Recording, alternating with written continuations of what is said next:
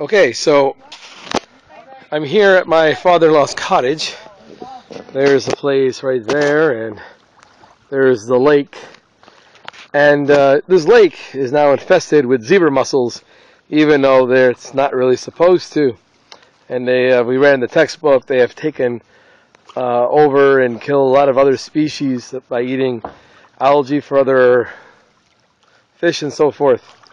So I want to show you something over here. This is the uh, the boat dock that we brought in because it's the end of the season, and so all all um, all summer this stays inside the water. And as we get closer, you can see all the zebra mussels that are now stuck to the actual boat dock. Look across here along the bottom. Look at all this. Oh, let me zoom out a little bit. There you go. All the way across. They're just stuck.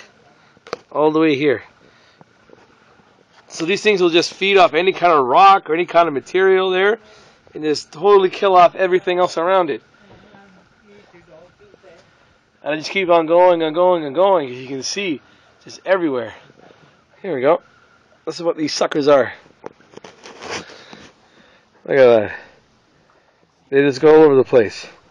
That's kind of sharp too. If you actually step on them, you can cut up on your foot. And it's not just around here. It's all over the place. This is where it gets in the water. Got a whole nest right in here. Along the side, down here at the bottom. Everywhere. Back here. No matter where I go in this thing, they are all over the place.